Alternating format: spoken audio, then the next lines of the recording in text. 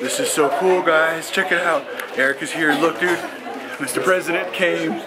Right there, right there. This is awesome. Awesome, awesome.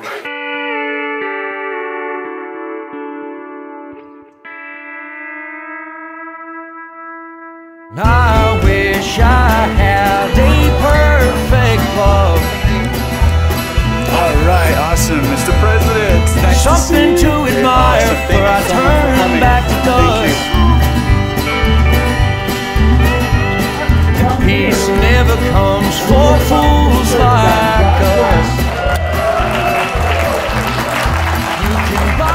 Let's give it up for uh, Kody Dayish Productions. That's why we're all here today.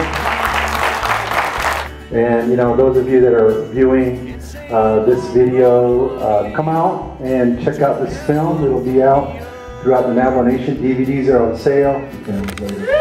I have a career after politics, huh? Green Tunes, ladies and gentlemen, give them a round of applause. Yeah. So everybody always asks me, where's Ernie? People think that we live together. We travel together. That we have one bed, bunk bed, top bunk, and I get the bottom bunk, ten dollar bed. He lives here in Window Rock, and I live in Farmington. Man, that was all the all the Anishinaabe Native Americans were up there. The further north you go, they slow down their, their dialect.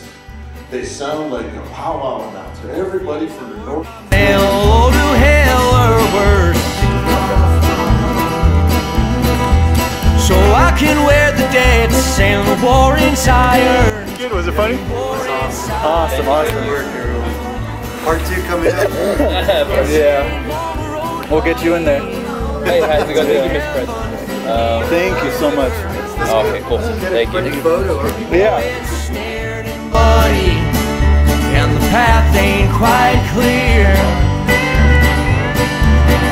Oh, and Lord, ain't we ugly when the shadows disappear?